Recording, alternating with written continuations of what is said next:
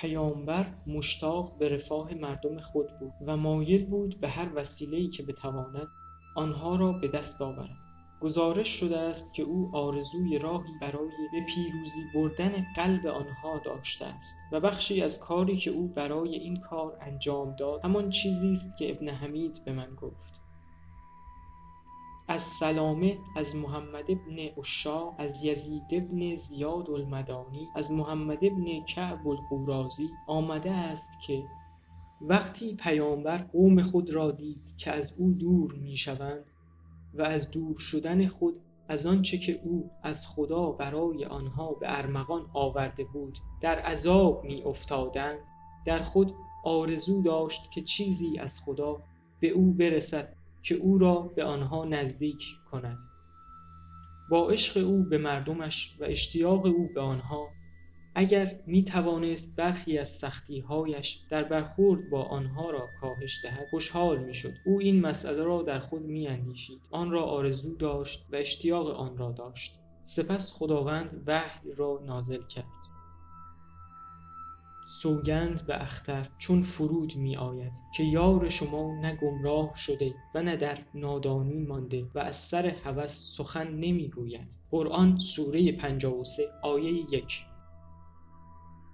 وقتی به سخنان خدا رسید آیا علات و عزا و منات دیگر سومین را دیده ای؟ قرآن سوره 53 آیه 19 و 20 شیطان به دلیل آنچه او در خود اندیشیده بود و آرزو داشت که به قوم خود بیاورد بر زبان او جاری ساخت. این پرندگان عرشنورد هستند و امید بر شفاعت آنها است. وقتی قریش مردم مکه این را شنیدند شاد شدند. آنچه او درباره خدایان آنها گفته بود خوشایندشان بود و آنها را خوشحال کرده بود و آنها به او گوش می‌دادند.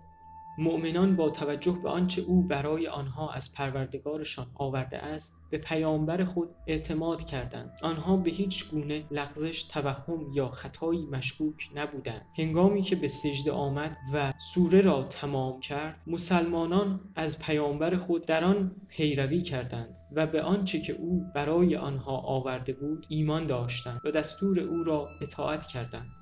آن مشرکان قریش و سایرانی که در مسجد بودند نیز بر طبق آنچه آنها شنیده بودند که او در مورد خدایان آنها گفت سجده کردند. در کل مسجد مؤمن یا کافر نبود که سجده نکنند.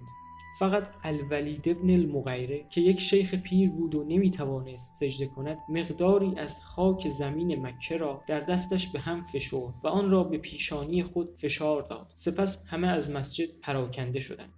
قریش بیرون رفتند و از آنچه شنیده بودند از شیوه صحبت او در مورد خدایانشان خوشحال بودند. آنها می گفتند محمد به نفع خدایان ما استناد کرده است. او در آنچه تلاوت کرده است گفت که آنها پرندگان عرشنوردی هستند که برای شفاعت آنها می توان امیدوار بود. آن پیروان پیغمبر که به سرزمین ابیسینیا مهاجرت کرده بودند درباره ماجرای سجده شنیدند و به آنها گزارش شد که قریش اسلام را پذیرفته بود. برخی از مردان در بین آنها تصمیم به بازگشت گرفتند و برخی دیگر عقب ماندند.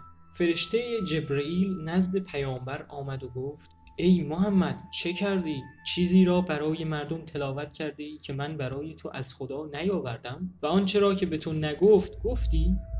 در آن زمان پیامبر به شدت ناراحت شد و از خداوند بسیار بترسید. اما خدا از رحمت خود وحیی برای او فرستاد. او را آرامش بخشید و از اندازه آنچه اتفاق افتاده بود کم کرد. خداوند به او گفت که هرگز پیامبر یا رسول قبلی وجود نداشته است که همانطور که محمد آرزو کرده بود آرزو کرده باشد و همانطور که محمد اشتیاق داشت اشتیاق داشته. اما شیطان همانطور که بر زبان محمد جاری کرده بود به آرزوی او هم انداخته بود. اما خداوند آنچه شیطان جاری کرده بود انکار می کند و آیات خود را به ترتیب درست و مناسب قرار می دهد یعنی خدا به او می گفت شما درست مثل سایر پیامبران و رسولان هستید. و خداوند نازل کرد ما هرگز رسول یا پیامبری را قبلش شما ارسال نکردیم. اما وقتی او آرزو کرد شیطان به آرزوی او انداخت. اما خدا آنچه شیطان جاری کرده را لغو لغو می کند و سپس خداوند آیات خود را به ترتیب صحیح قرار می زیرا خدا عالم و خردمند است. قرآن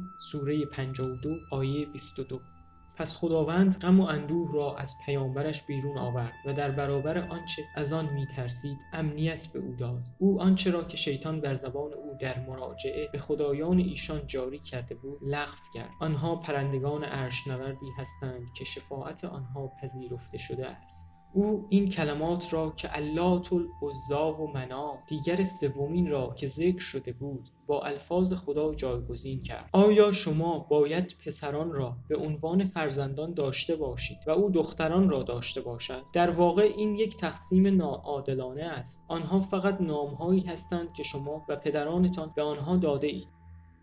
تا آنجایی که همان تعداد ملائکه که در بهشت هستند شفاعت آنها فایده ای نخواهد داشت. مگر اینکه پس از آن که خداوند آن را به کسی که بخواهد قبول کند و بپذیرد اجازه دهد. قرآن سوره 53 آیه 21 تا 26 معنی چگونه شفاعت خدایان آنها می‌تواند فایده ای داشته باشد؟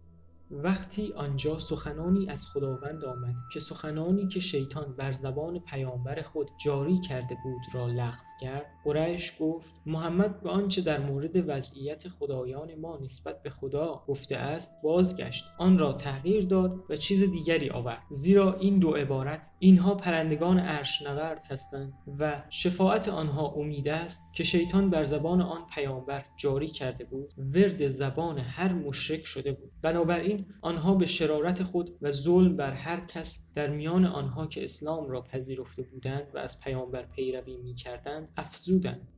گروهی از پیروان پیامبر چون شنیدند که مردم مکه هنگام سجده با پیامبر اسلام را پذیرفتند به قصد بازگشت به شهر مکه از سرزمین ابیسینیا خارج شده بودند. اما وقتی به مکه نزدیک شدند شنیدند که صحبت درباره پذیرش اسلام توسط مردم مکه اشتباه بوده. بنابراین آنها فقط به طور پنهانی یا پس از به دست آوردن وعده حمایت وارد مکه شدند.